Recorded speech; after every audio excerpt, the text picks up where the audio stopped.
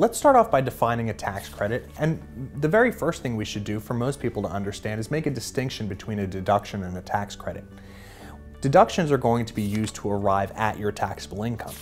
Tax credits are going to be used to reduce the amount of tax due after it's calculated based upon that taxable income.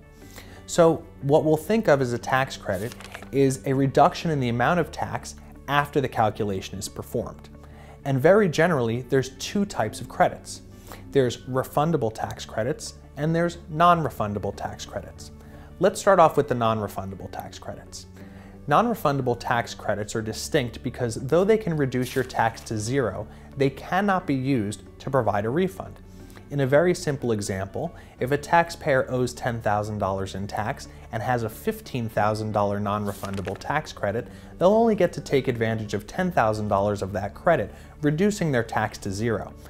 However, conversely, if that was a refundable tax credit of $15,000, that taxpayer would be in the circumstances to receive a $5,000 refund after the tax credit not only took care of the $10,000 in tax due, but also provided this additional amount.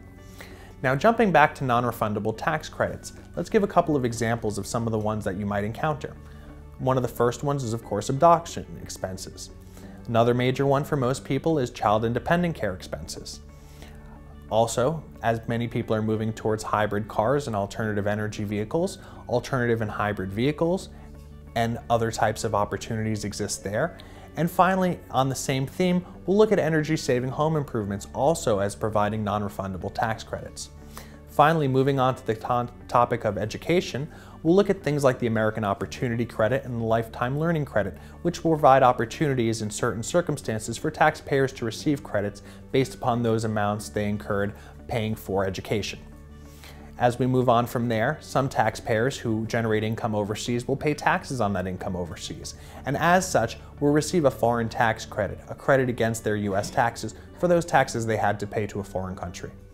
Finally, we'll look at the other side of this, which is of course those taxes which are tax credits which are refundable. And these will be things like your earned income tax credit or EITC, your first time home buyer credit, certain things like healthcare coverage credits, and a few other types of refundable credits. Very generally, many of the credits you're going to encounter are going to be non-refundable tax credits. Of course, we could think of these as having slightly less value than those tax credits which are refundable, because the refundable tax credits can actually net you a refund after, even though you have not paid in any additional tax. So recapping very quickly, we're going to look at tax credits being those items which are going to reduce the amount of tax due after the calculation is already performed. And we'll break these up into non-refundable credits, which again are not as advantageous, and refundable tax credits, which of course can both reduce your tax liability to zero and provide you a refund on top. If you have questions about these things or how these might apply to you, you could find answers on the IRS website or seek help from your tax accountant or professional advisor.